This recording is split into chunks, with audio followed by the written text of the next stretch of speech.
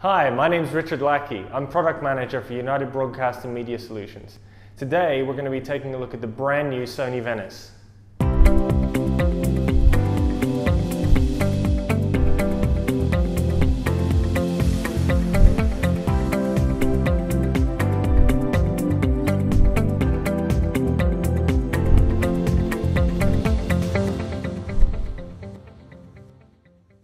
The Venice is Sony's flagship camera and the first full-frame digital cinema camera on the market. The heart and soul of any cinema camera is the image sensor, and Sony have gone big with the Venice. The Venice is built around a large format 36 by 24 millimeter full-frame image sensor. This gives you various shooting modes, 3 perf super 35 millimeter spherical, 4 perf super 35 millimeter anamorphic, and 6K in various aspect ratios. This new sensor boasts the highest imaging performance from Sony so far, with film look color reproduction, S-Gamut 3, and 15 stops of dynamic range. The Venice has an 8-step mechanical ND filter system, from 0.3 to 2.4, and this can be remotely controlled when the camera is on a drone or on a crane.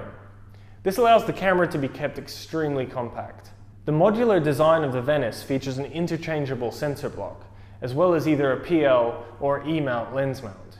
Venice has been created with ease of use and efficiency in mind, giving you a choice of various recording formats and options. Sony's robust XAVC 4K is offered in class 480 and 300 in 10-bit 422 all-intra frame, as well as Apple ProRes in an upcoming firmware update. By adding the optional AXS R7 RAW recorder, you'll be able to record 16-bit linear RAW or Sony's XOCN to AXS memory cards.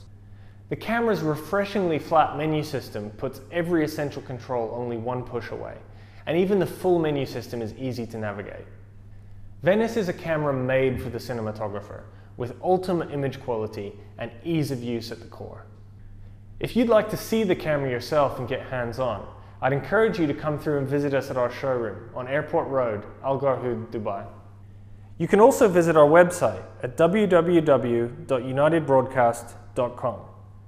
Make sure you subscribe to our channel to get more interesting videos. Thanks for watching. See you next time.